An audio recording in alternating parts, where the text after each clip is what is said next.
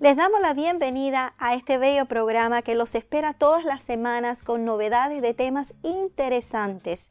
Impacto de vida para todos ustedes. Con nosotros tenemos un invitado desde Argentina, Fernando Vecchio. Nos acompaña y vamos a desglosar el tema El éxito en los negocios. Nuestro invitado Fernando Manuel Vecchio nació en Buenos Aires, Argentina. Es empresario, metalúrgico, conferencista y escritor. Lo más que le entusiasma es la dirección y el liderazgo de organizaciones. Tiene altos conocimientos técnicos, dicta talleres para emprendedores y empresarios. Su mayor pasión es llegar a la gente les presento a nuestro invitado. Bienvenido Fernando, gracias por estar aquí con nosotros. Es un gusto tenerlo y también conversar de un tema tan importante en estos momentos que estamos surgiendo de una pandemia que la hemos dejado atrás, aunque hay países que todavía y estados en los Estados Unidos que todavía están bajo ciertas ah, circunstancias de limitaciones. Gracias, Elaine. No, el gusto es mío por haberme invitado y estoy muy contento de estar en, tu programa. Muchísimas gracias. Vamos a darle comienzo a el éxito de los negocios. ¿Qué sería el éxito o cómo lo podríamos nosotros visualizar? Sí, el éxito en los negocios es el primer libro que yo escribí, le llamé así, este, ahí fui volcando todas las cosas que yo aprendí, que fui aplicando en mi, en mi emprendimiento, en mi negocio. Nosotros tenemos una empresa metalúrgica, ¿no? Pero claro, cuando, cuando nosotros escuchamos la palabra éxito y la, asociamos a los negocios, por supuesto la asociamos con felicidad, con prosperidad, la asociamos con victoria, ¿no? Pero estamos acostumbrados, eh, vos fíjate, estamos siempre acostumbrados a, a, enfocarnos en la palabra éxito nada más. Y atrás del éxito eh, no solo hay trabajo, sino también hay muchas actitudes y muchas este, cuestiones que hacen a que lo podamos lograr, a que podamos llegar a ese éxito tan deseado que tenemos todos, ¿no? Y en definitiva no es más ni menos que un resultado, ¿no? El éxito, el resultado de lo que uno va haciendo o viene haciendo para lograr un objetivo, ¿no es cierto? Eh, eso es un poco eh, lo, que, que todos pensamos, ¿no? justamente en este contexto tan complejo de, la pandemia, eh, lo primero que tenemos que, hacer para poder llegar a ese éxito es tener actitudes. Y, por ejemplo, una actitud positiva. Se me ocurre decir que hoy por hoy necesitamos tener una actitud positiva, una actitud que comienza a ver oportunidades donde otros no las ven. ¿No es cierto? Porque eh, aunque uno a veces no lo, no lo vea o no lo crea, las crisis y los, y los momentos difíciles trae oportunidades escondidas ahí dentro y, es, y somos nosotros los que tenemos que visualizarlas y poder identificarlas, ¿no? Qué importante lo que acabas de decir, que hay personas que ven algo positivo, productivo que otros no ven. Ahora, ¿cómo podemos verlo de los ojos bíblicos?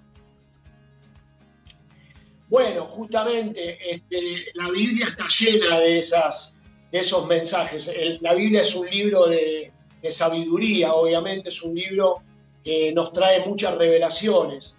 Y si nosotros ondamos en muchos versículos y ondamos en, en la lectura, nos vamos a encontrar con un montón de, palabras que nos eh, abren las puertas a las oportunidades.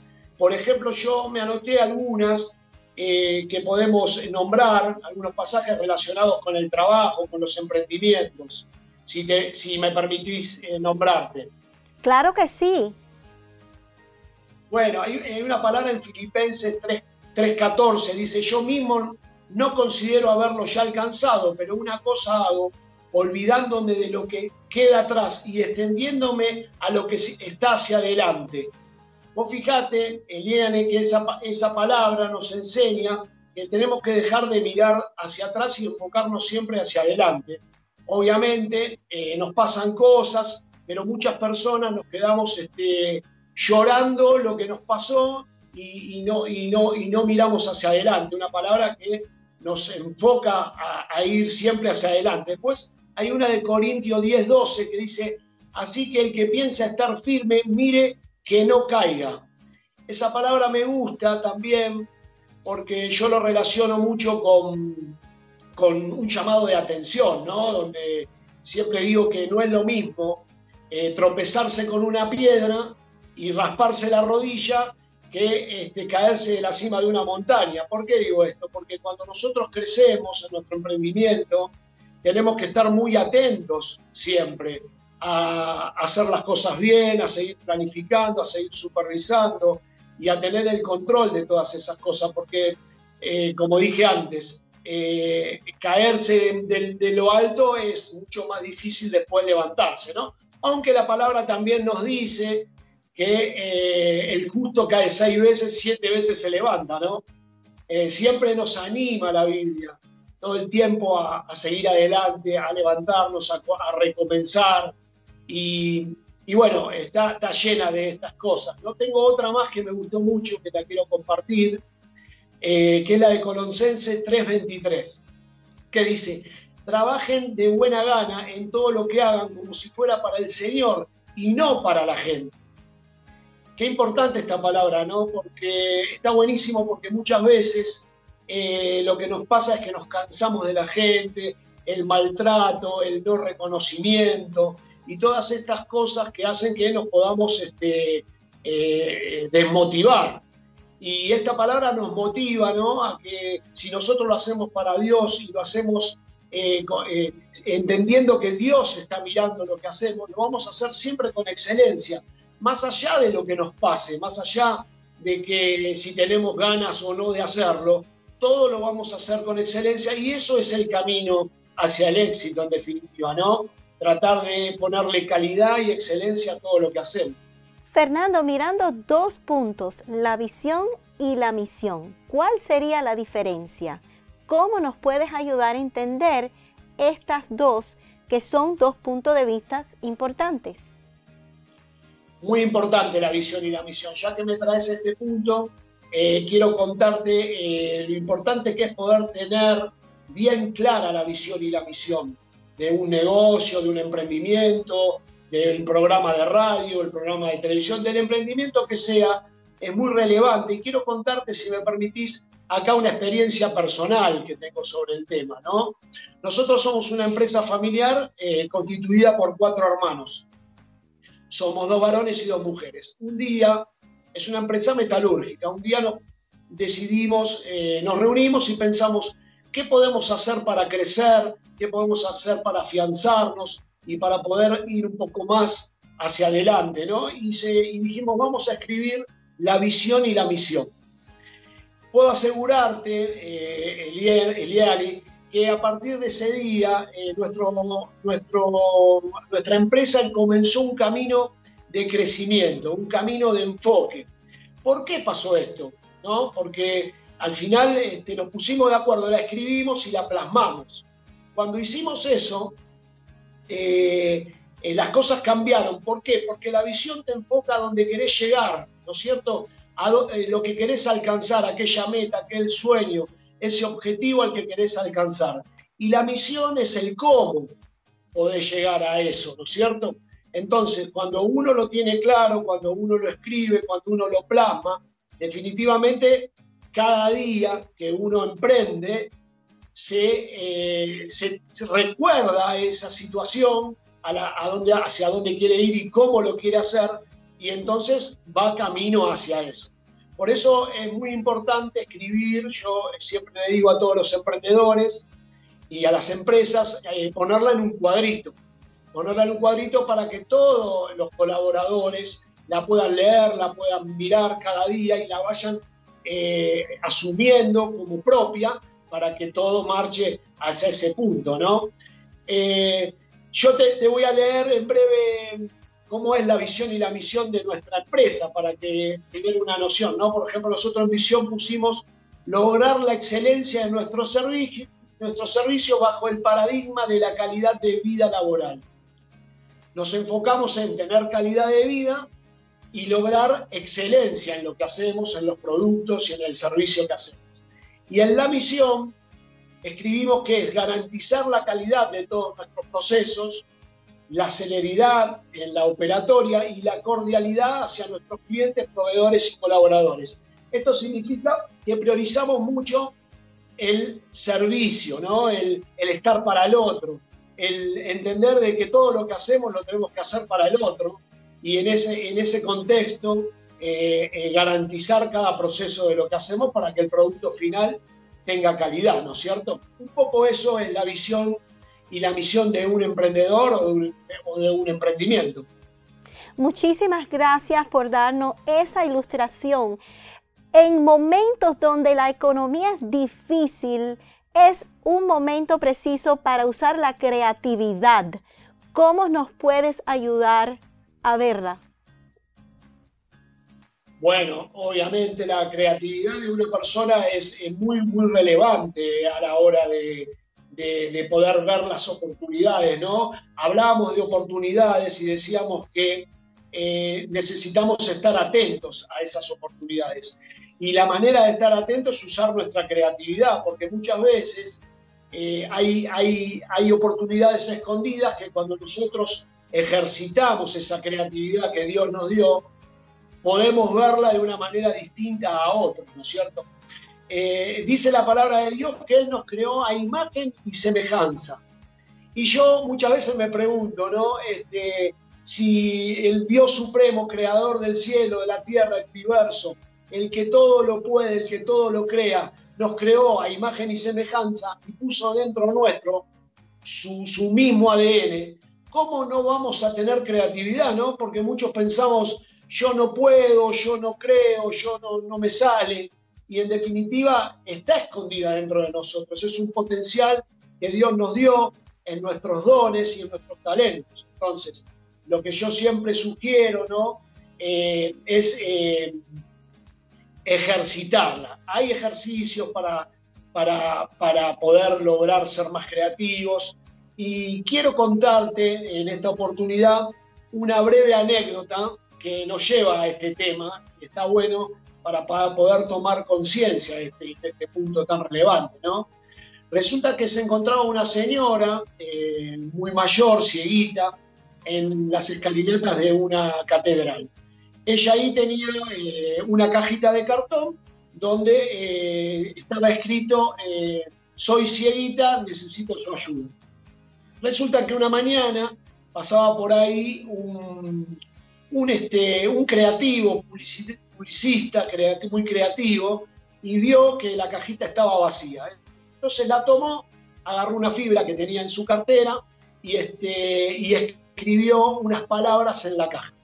Se retiró, se fue a su trabajo eh, y al regresar de su trabajo a la tarde, cuando él volvía, se acercó nuevamente a la cieguita y la cieguita, eh, al, al escuchar sus pasos, le dijo, ¿quién eres tú? Le preguntó, ¿qué has escrito en mi caja?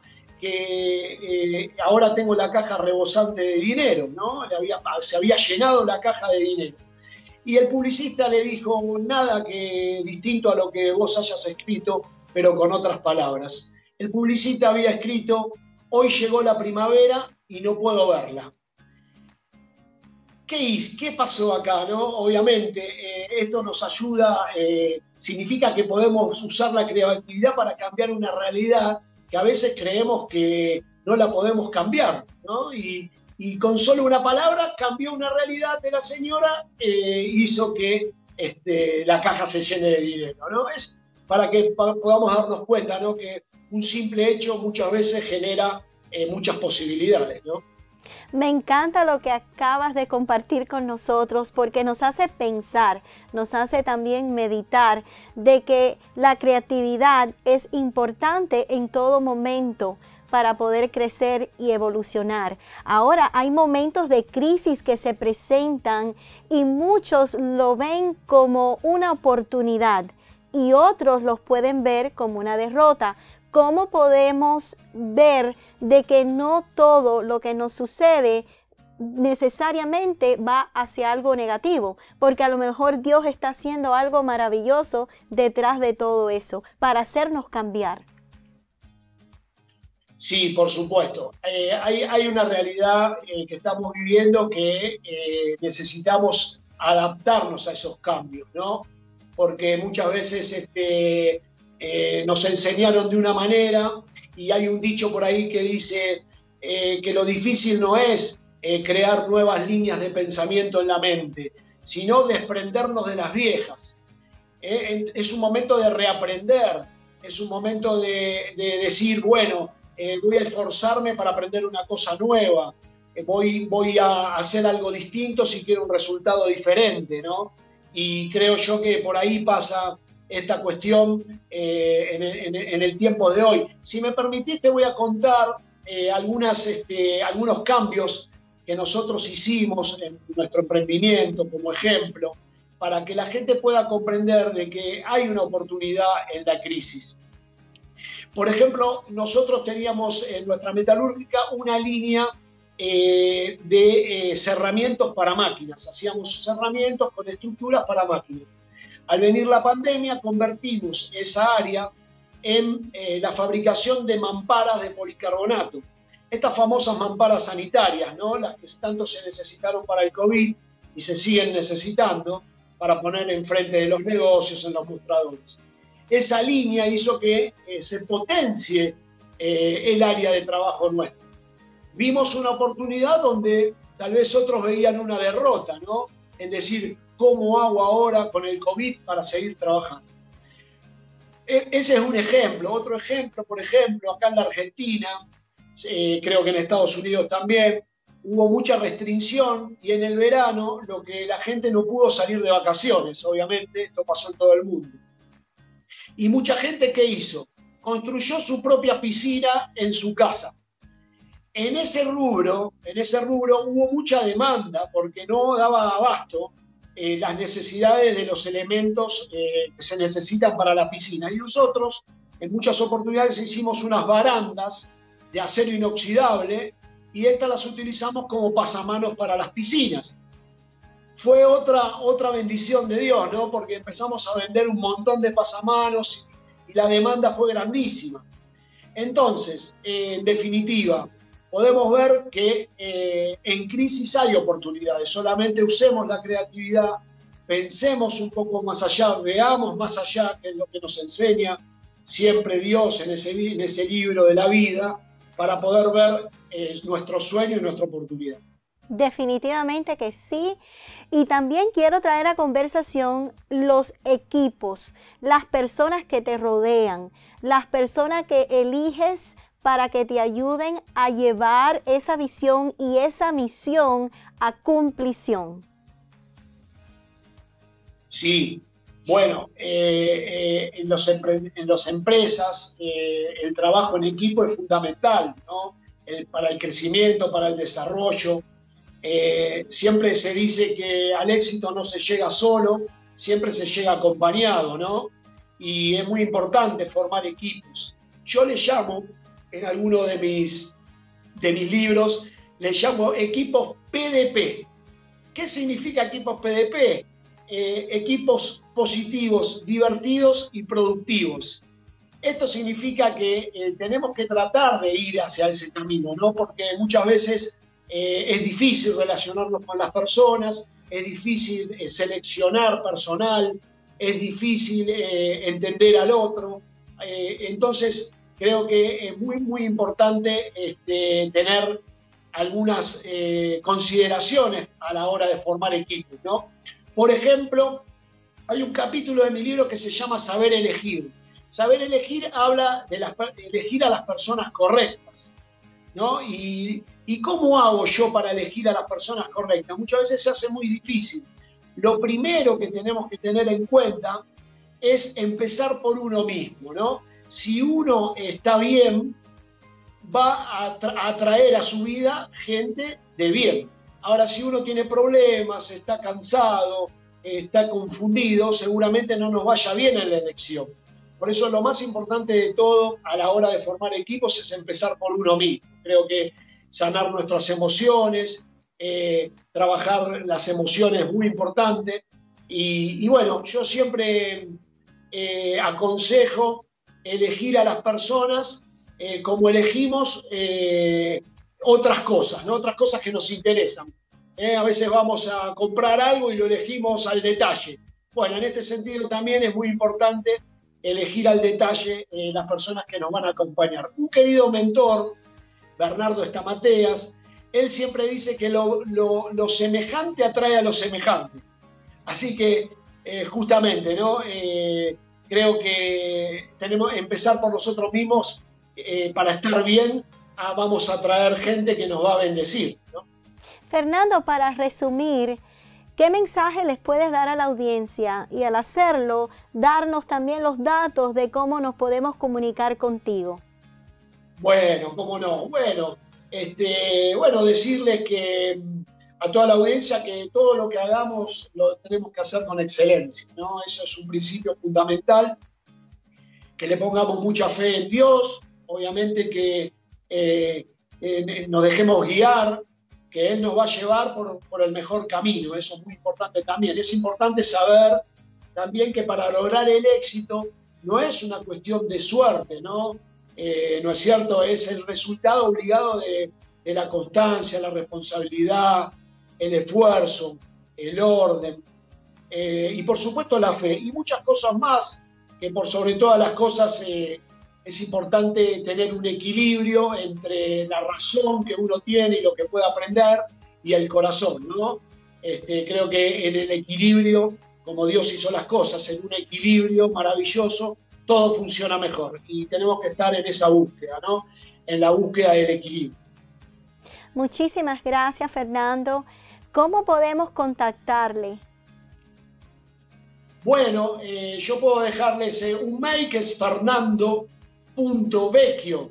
Vecchio se escribe B corta E C H I O, Vecchio, que es viejo en italiano, ¿no?